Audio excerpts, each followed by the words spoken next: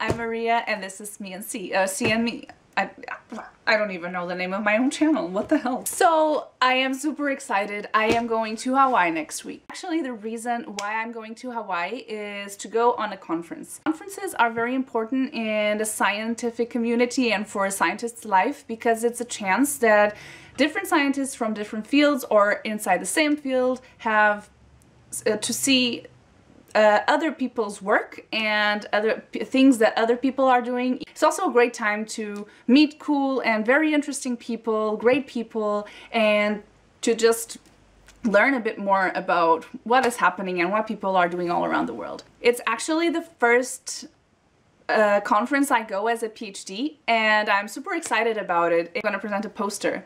My poster is going to be about the topic, a, a, very small part of my PhD. I'm just working on my poster, uh, more or less. I just made a quick pause. And I will, after shooting this video, I will go back and take away my Hawaiian t-shirt, my Hawaiian top knot t-shirt and my hat and just look normal again. For my PhD, I am studying the community of microorganisms that live attached to plastic pieces that are found in the ocean.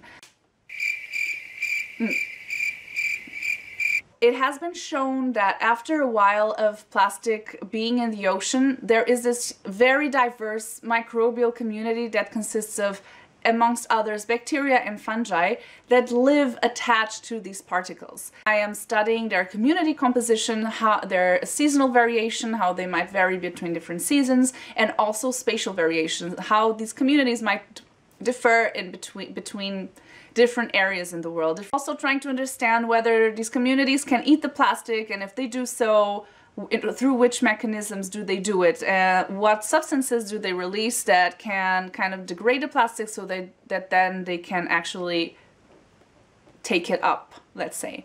So yeah, this is uh, very briefly what the main topic of my PhD is. I'm super excited to go surfing again. I used to surf sometimes in Portugal. I haven't done it for a long, long time. I live in Vienna, uh, in Austria, which is a landlocked country, which means it doesn't have any ocean. But I'm now super excited to do so and to go snorkeling and diving and to see the sun and the beach. I'm really hoping to share a bit of my journey. I say this a lot my share my journey.